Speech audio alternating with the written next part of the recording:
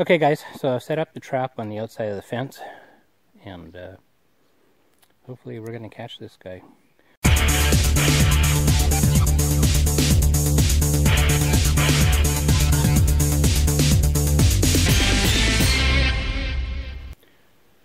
Hey guys, Norm McGregor on Haida Gwaii for Island Adventure. Well, the chicken tractor is pretty empty. Today, uh, marten got into the chicken tractor and wiped out our little chickens. So, predators are something that you have to be incredibly vigilant with. Um, it was a pine marten uh, when we got home. The pine marten was still in the, the shed, but he managed to get back out. I thought the shed was pretty secure, but what I realize is that the pine marten has a very, very small head. Uh, 50 millimeters is his head, which is about 1.2 inches. So he can get through a hole, basically one inch. And what he did is he, he got under the very edge of the chicken tractor. Like here. Now, if you can believe that, he crawled under there came up through the inside. Now you can see he was quite anxious to get at these chickens. Look at all the, the scratching and digging and stuff that he did to get at it. So he'd been there, I guess, well, I guess we'd only been gone not that long. But anyways, and on the floor, I had two by three inch uh, wire so he could easily get through that, but we just never thought he would get under it.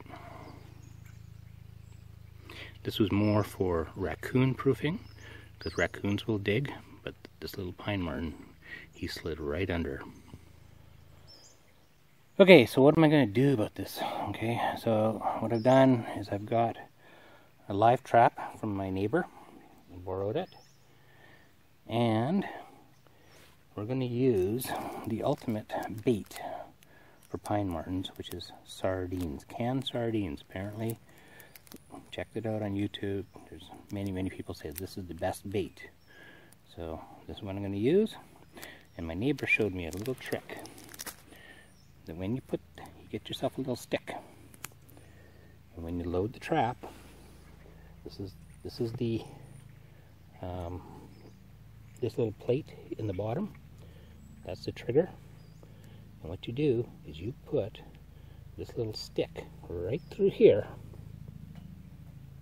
like so, and that forces whatever goes in that trap to step over and onto the trigger to make sure that uh, he gets caught. So let's get this set up. Alright guys, so we got the sardines in the cage, and I've got the cage set out in the back of the yard. Just on the outside the fence. Now, the important thing with using the sardines is you want to make sure you only open the can a little bit. So the smell comes out, but he has to come in there and actually work it because you want him in the cage as long as possible.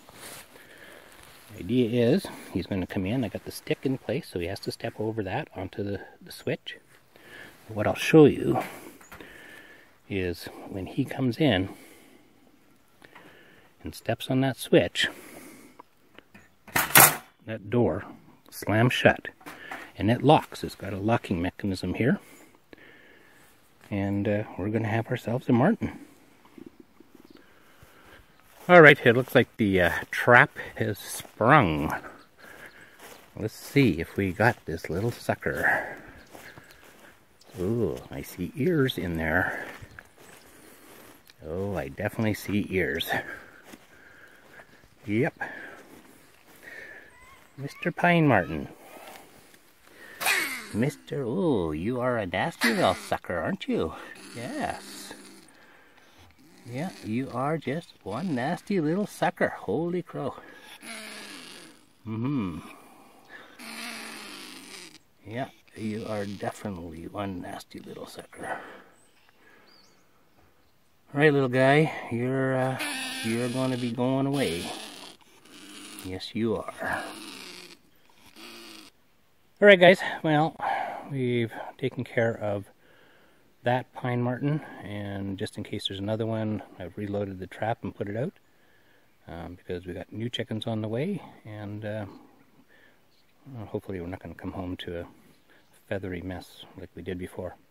Alright guys, Norm McGregor on Haida Gwaii for On Adventure. Take care.